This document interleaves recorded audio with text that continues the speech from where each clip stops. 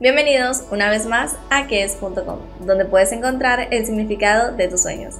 Yo soy Sandra y en el tema de hoy hablaremos sobre qué significa soñar que un muerto viene por ti. Pero antes quiero recordarte que en la descripción de este video está el link de nuestra página web. Sin más que decir, comencemos. ¿Qué significa soñar que un muerto viene por ti?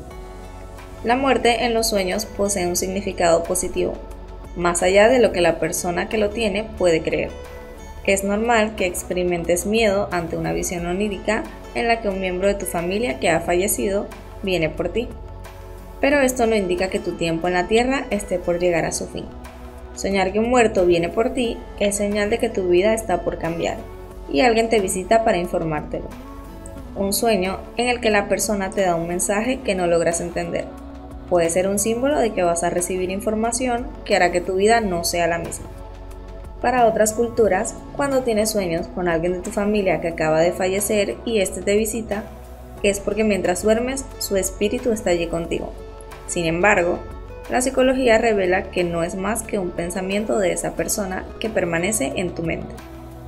Es probable que sea porque tienes miedo a olvidarlo.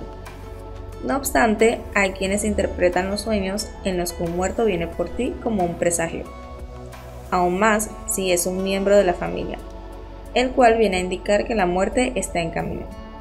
Además, es posible que este sueño guarde un significado de distanciamiento aunque la persona no haya perdido la vida.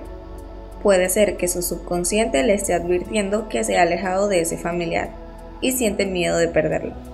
Ahora bien, si estás teniendo una acalorada discusión con ese muerto que viene por ti, su significado es culpa.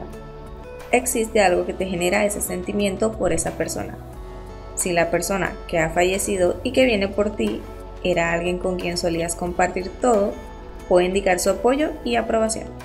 Y así finaliza el video de hoy.